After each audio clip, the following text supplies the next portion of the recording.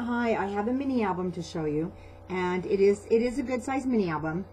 I also just um, designed the pages, and this paper, year in review, is a Ruby Rock-It paper that is very limited. I do have access to a couple of of these collections if anyone's interested at my store at Country Craft Creations in Hooper. But like I said, it's very, very limited. The paper comes out of Australia, so it's not one that I carry because it is hard to get. But I fell in love with the grayscale in review papers, and I started working with it, and I realized it's not easy to work with grayscale after a while. It's almost worse than black and white. At least black and white you can put everything with. But I had a thought in mind. I really wanted to use the new Bo Bunny collection. I have, let me show you this, some of the sticker sheets. This is their new garden journal. And so I really wanted to add it to this gray paper because there's a lot of grayscales. I don't know if you can see in this new garden journal collection. So I thought it's going to look great. Um, this is more of a journal type year in review.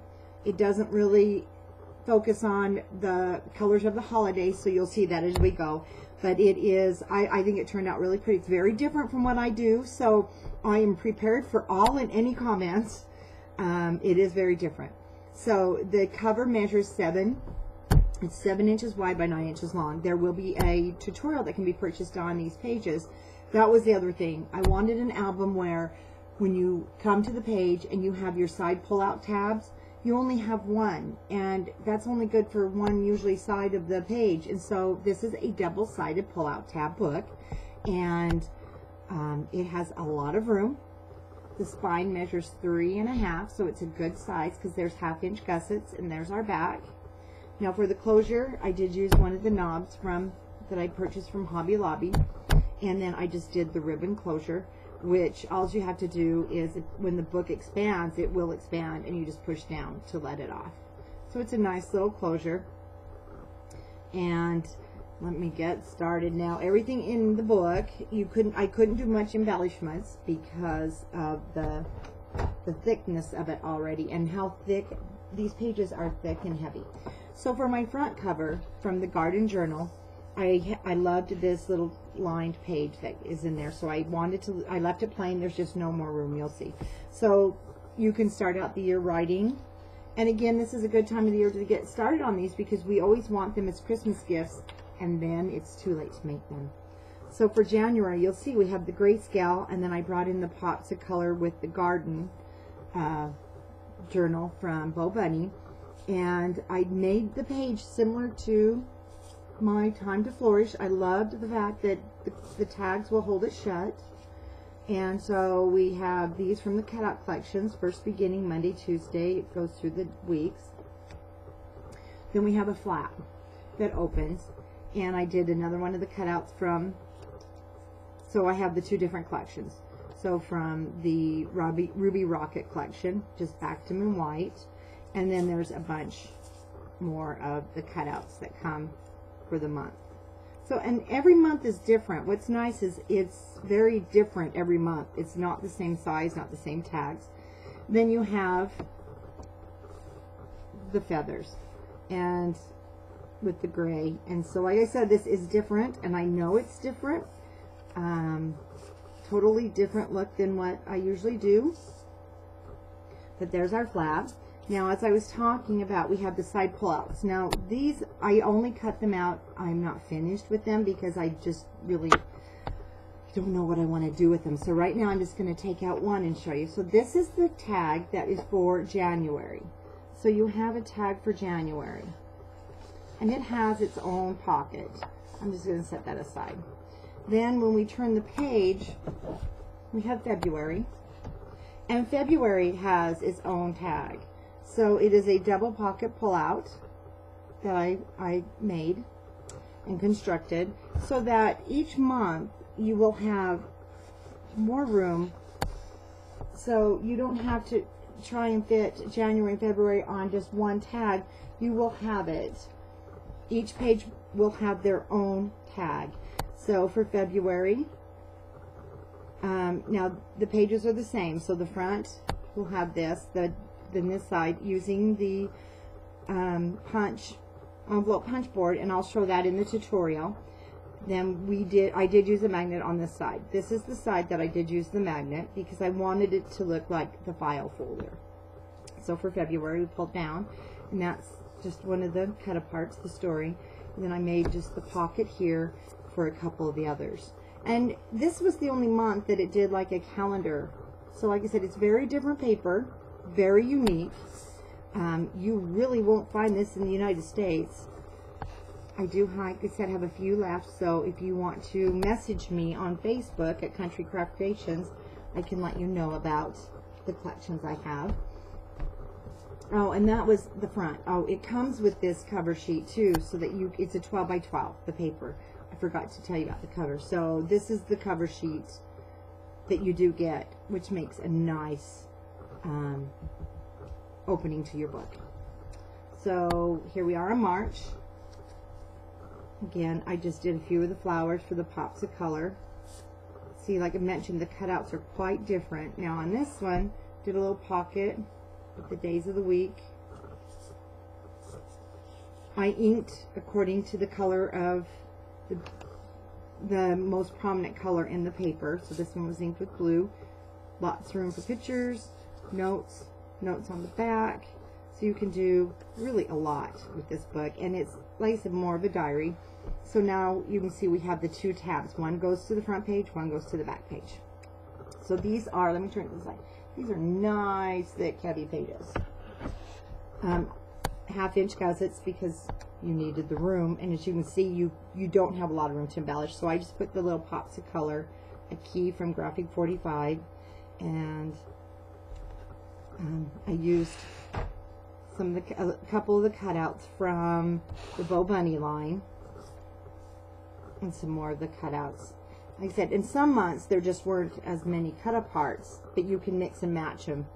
So it's a really nice, it's a fun line. And I am going to do another album, and I'm going to do it all in the black and yellow and gray scales. And so on this one, I use the coordinating garden on there and it just pops up like this. Fussy cut one of the birds from the Bo Bunny line to hold one of the little cutouts. And I just added this extra one because May didn't come with a lot of cutouts. They were very large pieces for some reason. So you can also add your own, of course. You can see how those just, they hold that page down nice and secure. So a lot of times when we're scrapbooking, if we start using tons of magnets and different things like that, it gets expensive. And I wanted to, I knew this was a big album. I wanted to make sure it could be made and costs were kept basically in check. Um, here's June. And you can see I used some of the paper from the Bo Bunny just to give it the color belly band with a stopper and then two of the tags. You just fit down inside. And here's July. So you can see where this would make a really nice ladies journal. And then it has a lot of embellishments that remind me of, you know, England. So you can definitely see it's not a U.S. paper again from the Bo Bunny line. Just a little bit of cutout for there. And July didn't come with a lot of tags. Very interesting line, but it was fun.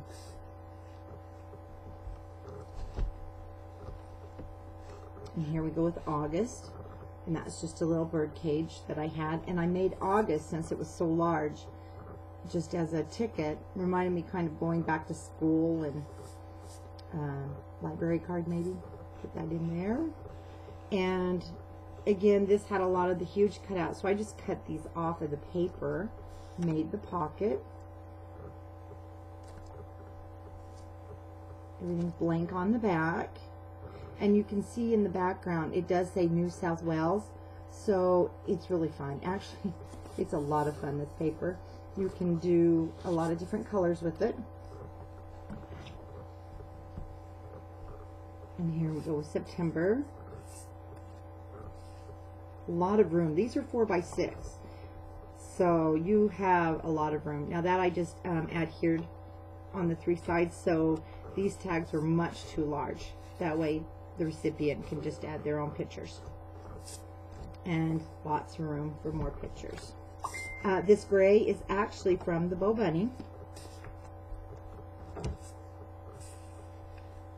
It was the back side of this very colorful, colorful paper. And here's October.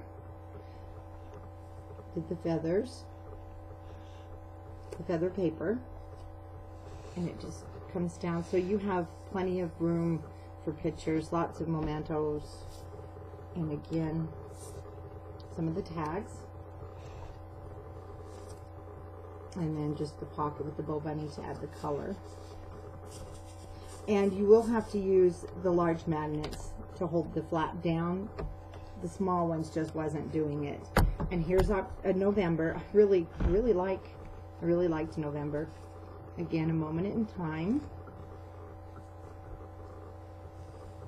And these were some cutouts from this paper line. So I just cut them out, made the little pocket. And you do get a few of the just solid sheets so that you can use them also for, for your pages.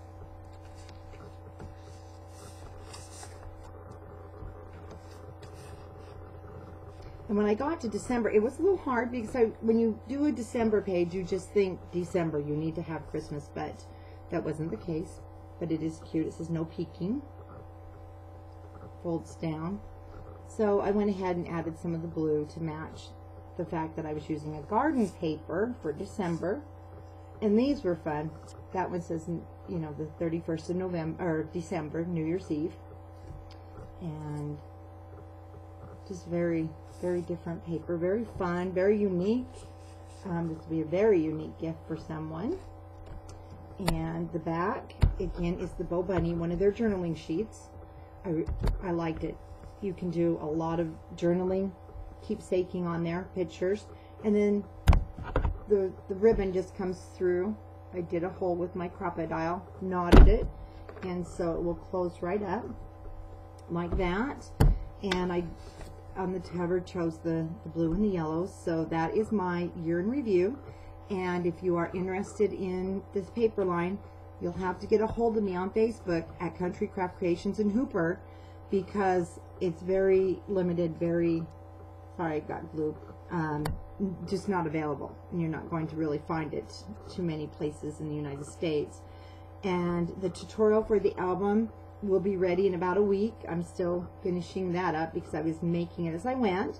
And don't hesitate to leave me comments, good or bad, so that I can kind. I know this is different, and so I was really unsure about it, and I'd love to hear from you. Thanks for watching. Bye bye.